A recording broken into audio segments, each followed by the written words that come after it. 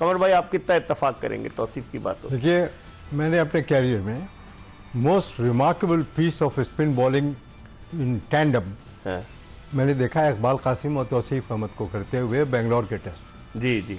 87 जब, जब पाकिस्तान टेस्ट भी जीता और सीरीज़ भी जीता। सही। इस उस mind field off off wicket को जिस तरह ये तौसीफ अहमद और इकबाल कासिम यूज़ कर रहे थे हम्म। उस पर सिर्फ़ दुनिया का one of the greatest batsman he survive कर सकता था सुनील गावस्कर। हाँ, सही कह रहे अगर आप मुझसे पूछेंगे हम्म। कि मैंने अपनी दुनिया ज़िंदगी में अपने कैरियर में सबसे बेहतरीन टेस्ट इनिंग कौन सी देखी है? हम्म। मैंने सात ट्रिपल सेंचुरी कवर की है। नौ देखी हुई है। और बहुत सारी डबल सेंचुरियाँ आप यकीन मानिए कि मेरे मुँह से और फ़ौरन यही बात निकलेगी कि दुनिया में सबसे ग्रेटेस्ट टेस्ट इनिंग खेलते हुए एक बहुत ही ख़राब विकेट पे मैंने सुनील गवास्कर को देखा है। हम्म। सिर्फ़ उसी जैसे स्किल और टेक्निक का बैट्समैन हम्म। इकबाल कासिम और तौसीफ अहमद को उस माइंड कर फेस कर सकता था।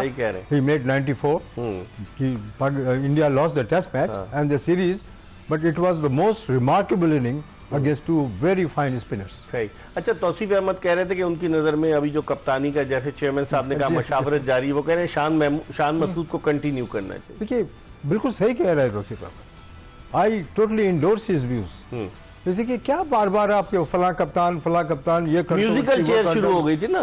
Don't do it for God sake Shan Masood he can bat सही। अब ये कि he bad day and a good day mostly he had bad day लेकिन ये कि जब इंसान जीतने लगता है तो एक टॉनिक का काम होता है। सही। और आदमी का कॉन्फिडेंस और बढ़ जाता और बढ़ जाता है। सही कह रहे शान मसूद ने ये टेस्ट सीरीज़ जीत कर मैं समझता हूँ हम्म। कि जो स्प्रिट पैदा कर दी होगी ड्रेसिंग रूम की खिलाड़ियों की और अपने बॉलरों और बैट्समैनों की ये बहुत बड़ा टॉनिक होता है मैच जीत जाना। और टीम स्पिरिट भी ज़बरदस्त टीम स्पिरिट ठीक है। जब टीम हारने लगती है तो फिर आपस में ड्रेसिंग रूम का माहौल भी खराब हो जाता है। कप्तान की तनकीद का निशाना बन जाता है चाहे टीम ने खराब किया हो। लेकिन जीत सारी खामियाँ भी छुपा देती है हूँ कि तौसीफ को मैं एंडोर्स करता हूँ कि शान मसूद को आप ओडीआई के कैप्टन बना दे। कौन से बीस ओडीआई खेलने जा रहे हैं? जा रहे हैं। ठीक है ठीक है। और वाइल्ड उसका टी ट्वेंटी का कमर भाई? टी ट्वेंटी के कप्तान देखे ना ये तो एक मज़ाक है टी ट्वेंटी क्रिकेट के खेल के साथ लेकिन कमर्शलाइज तो है। जिसकी वजह से ढाई ढाई दिन में दो दो दिन में टेस्ट खत्म हो रहा है। हाँ, बिल्कुल सही कह रहे हैं। स्किल और टेक्निक बैट्समैन खत्म खत्म हो चुकी है। और ना बैट्समैन को आप जज कर सकते हैं ना बॉलर को आप जज कर सकते हैं। और भाई आप भी फ़र्स्ट क्लास क्रिकेट खेलें। जिस तरह की बैटिंग इंग्लिश बैट्समैनों ने की ऐसा लगता है तो उनको फ़्लाइट पकड़ने की जल्दी थी? या ऐसा लगता है कि उनको क्रिकेट स्पिनर्स को खेलने ही नहीं आती?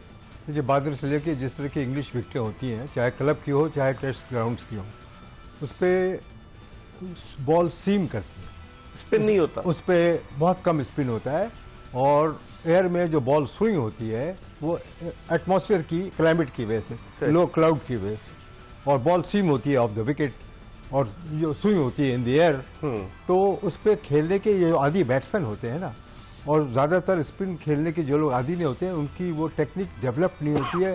अचानक सामने कोई अच्छा स्पिनर सामने आ जाए तो।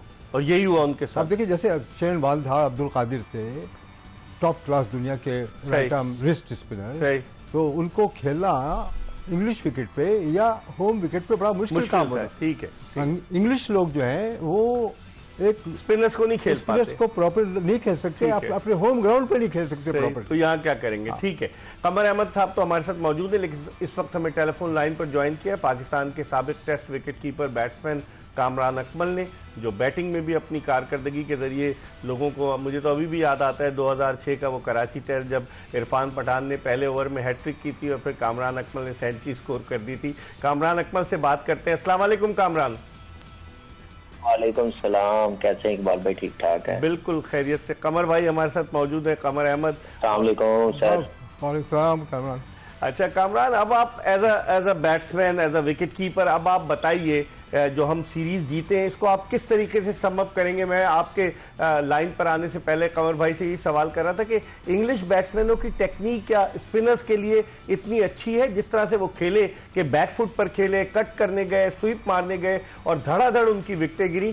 कैसे देखते हैं आप इंग्लिश टीम की बैटिंग को इस रावलपिंडी टेस्ट मैच में देखिए इंग्लिश टीम की जो बैटिंग है वो सारी एक्सपोज कर दी हमारे स्पिनरों ने। हम्म। और नज़र आया कि कितनी स्ट्रगल वो करते रहे हैं। ये कोई इकबाल भाई कोई रॉकेट साइंस तो है नहीं कि इंग्लैंड टीम को हम पकड़ नहीं सकते। हम पास में भी हमारे जितने स्पिनर्स थे वो हमेशा पाकिस्तान में आए हैं। वो हमें जितवा के देते रहे हैं। इंडिया में जाके ये मार खाते हैं। श्रीलंका जाके ये मार खाते हैं। तो हम लोग ये पौने चार सालों में जो पाकिस्तान में क्रिकेट हुई है वो किस अंदाज के साथ चलाई जा रही थी वो आपको ही पता हमें भी पता हम चीखते आ रहे थे कि आप इनके खिलाफ स्पिन ट्रैक बनाए आपने जीतना है इस टीम को डोमिनेट करना है तो आप अपने स्पिनर्स को खिलाना पड़ेगा हम्म। लेकिन ऐसा सोच कोई नहीं रहा था नेगेटिव सोच रहा था सेल्फिश सोच रहा था जो पाकिस्तान की क्रिकेट के लिए बेहतरी के लिए बात नहीं कर रहा था हम्म। अपनी पर्सनल जो गोल थे उसके लिए वो क्रिकेट चला रहा था उसमें पूरा हाई मैनेजमेंट को भी ब्लेम दे सकते हैं कि यहाँ तक पहुँचाने में उनका बड़ा हाथ है। आज भी तो ये प्लेयर्स खेले हैं ना ऐसे ट्रैक पे। हम्म। स्पिनर्स पे कॉन्फिडेंस रखा है ना। अभी हमारे पास क्या नाम है क्वालिटी स्पिनर नहीं है जो मैनेजमेंट की तरफ़ से स्टेटमेंट आ रही थी कि हमारे पास क्वालिटी स्पिनर ये अभी क्वालिटी स्पिनर नहीं है तो देने वाले स्पिनर नहीं है याद है आपको अजहर हाँ जी। हाँ, चालीस आउट कर दिए इन्होंने दो टेस्ट मैचों में। आपको सीरीज़ जितवा दी है हाँ। ये डोमेस्टिक के परफॉर्मरों ने डोमेस्टिक का एक्सपीरियंस हो। हाँ। तो मैं कहता हूँ बहुत बड़ी अचीवमेंट है बहुत ज़बरदस्त क्रिकेट खेली है पूरी टीम को मुबारकबाद। पूरे पाकिस्तान को आप देखे मुबारकबाद कितनी खुशी है आपके चेहरे पे। हम लोग कितने खुश हैं सही। कि यार ये इंग्लैंड की टीम हमसे जीत के गए हैं ये व्हाइट वॉश करके गए हाँ, हैं हमें शर्म नहीं आ रही थी हम पाकिस्तान की क्रिकेट किस तरफ़ लेके जा रहे थे। अपने पर्सनल एजेंडे की वजह से अब पाकिस्तान की क्रिकेट को कुर्बान कर रहे थे। हम्म, हंस रही थी दुनिया। हाँ। अब आज देखें कैसे एक्सपोज किया जो रूट दुनिया का नंबर वन बैट्समैन समझ नहीं आ रही। बैन स्टोक को समझ नहीं आ रही मैं खेलूं लेफ़्ट करूँ सीधा बॉल उसने लेफ़्ट कर दिया। और ऐसा स्पिन भी नहीं हुआ जैसा इंडिया में होता है। हाँ। सिर्फ़ क्या था कि हमारा स्पिन ट्रैक बनाया लुक कैसी बनाई है हमारे बॉलरों ने अच्छी बॉलिंग की है। तो मेंटली वैसे ही गिर गए हैं। सही। सिर्फ़ यही करना था। अभी जो आप- फुल क्रेडिट देना चाहिए सिलेक्शन कमेटी को जिन्होंने डिसीज़न लिया कि ऐसी ऐसी कंडीशन तैयार करवाई है। गवर्नमेंट दिया प्लेयरों को मैसेज दिया। हम्म। ये पेचिया इस पे हमें जीत चाहिए। हमारे स्पिनर्स आप जाए तो सही स्पिनर्स के साथ। खेलते तो सही जीतने के लिए। पर्सनल गोल थोड़ी देर के लिए साइड पे करते चार साल हमें बड़ी मार पड़ गई है। उसकी वजह से हम दस साल पीछे चले गए हैं।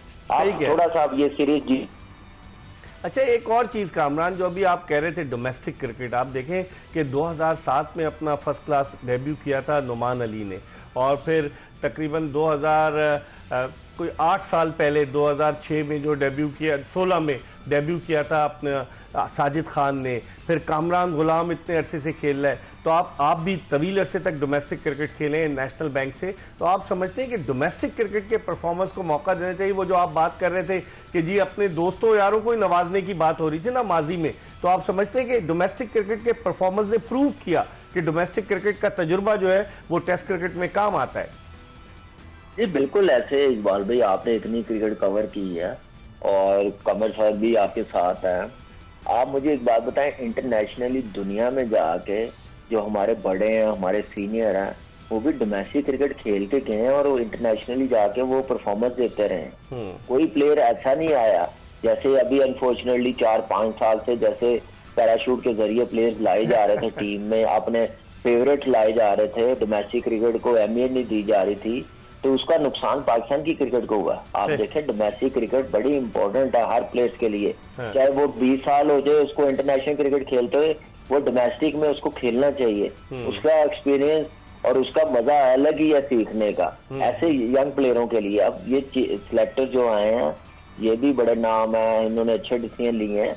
आगे आने वाली जो चीज़ है वो अब डोमेस्टिक क्रिकेट एटलीस्ट दो तीन सीज़न खेले हो कोई बीस पच्चीस मैच खेले हो तो आप प्रेशर हैंडल कर सकते हैं। फिर आपके थॉट्स थोड़े डिफरेंट होते हैं पॉजिटिव होते हैं। जीतने के लिए अच्छी परफॉर्मेंस दिखाने के लिए खेलते हैं। आप ऐसी परफॉर्मेंस नहीं दिखाते फिर जैसे पिछले पौने चार साल से हो रही थी पाकिस्तान की टीम की। सही। आप थोड़ा सा अपने पर्सनल गोल से अलहदा हो जाए पाकिस्तान के लिए सोचें कि हमने अच्छा करना है तो मेरे ख्याल से ये सारी चीज़ें बड़ी काउंट करती हैं। नुमान अली और साजिद को जितना क्रेडिट जितना नवाजने जितने कम है। उतने कम है। सही।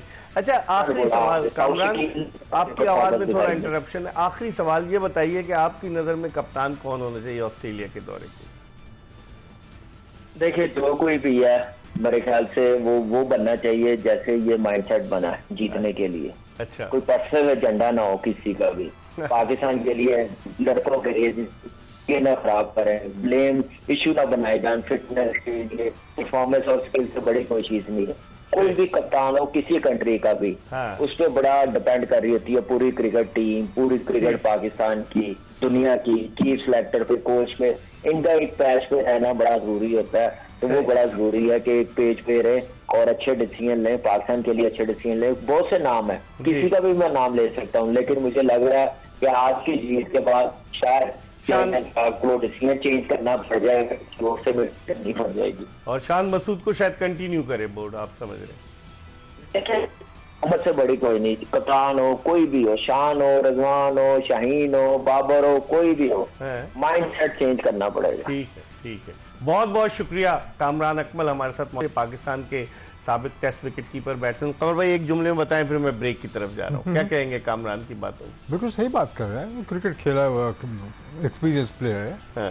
He is saying the right things ठीक है। बात यह है कि, जब आप उन लोगों को अचानक अपनी नज़रों से ओझल कर दे हाँ। और दोस्तों यारों को बिहाइंड द। कर्टन्स बैठा दें अपने दोस्तों और यारों लोगों को नवाजें। नवाजें। तो फिर जो रिज़ल्ट होता है वही आपके सामने था। ठीक है। अब रिज़ल्ट जो है डिफरेंट डिफरेंट हो। गया है इसी वजह से हम एक ब्रेक की तरफ़ बढ़े। रहे हैं कमर अहमद हमारे साथ मौजूद है। ब्रेक के बाद जल्दी दोबारा आपको ज्वाइन करेंगे।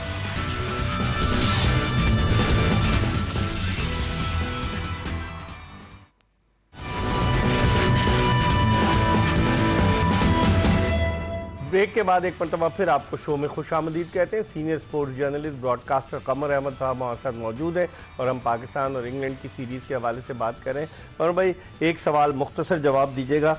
अब आप क्या समझते हैं हौसला कितना बुलंद हुआ है पाकिस्तान का? मुसलसल छः टेस्ट मैचेस हारने के बाद सीरीज़ जीतना। बहुत बड़ा टॉनिक है मैच जीतना सीरीज़ जीतना और कामयाबी। मैं समझता हूँ जिस तरह से ये सीरीज़ जीते हैं इम्फेटिक विक्ट्रीज बहुत दोनों टेस्ट में। वो बहुत रिमार्केबल है और generate new spirit in the Pakistan dressing room सही। और दूसरी बात ये जो आपने अभी जुबैकल देखा है इंग्लैंड के बैट्समैनों का हाँ। दुनिया के जितने ग्रेट बैट्समैन होते हैं ना बीफ रिचर्ड जैसे या गवास्कर उनको पता है कि- जब पहले दिन से बॉल स्पिन हो रही हो बॉल बैठ रही हो तो बैक फुट तो बैक फुट पे नहीं खेलते कट नहीं मारते स्वीप नहीं करते। हाँ, फ्रंट फुट पे खेलते हैं ताकि आपका पैर सेकंड डिफेंस हो। हाँ बिल्कुल। अगर इनसाइड एज लगे तो आपके पैर पे लगे आप एलबीडब्ल्यू से बचेंगे। ठीक है ना? लेकिन इंग्लिश बैट्समैनों ने ऐसा नहीं इंग्लिश बैट्समैनों को इस तरह की विकेट खेल पर खेलने के आदि नहीं है। कमर अहमद साहब आपका बहुत बहुत शुक्रिया। आपने हमें वक्त दिया और हमें उम्मीद है कि हमारी ये कोशिश ये काविश पर आपको पसंद आई होगी। इंशाल्लाह अगर ज़िंदगी ने वफा की तो कल फिर आपकी खिदमत में हाजिर होंगे। मिर्ज़ा इकबाल बेग और एक्सप्रेस न्यूज़ की पूरी प्रोडक्शन टीम को इजाज़त दीजिए। अल्लाह हाफिज।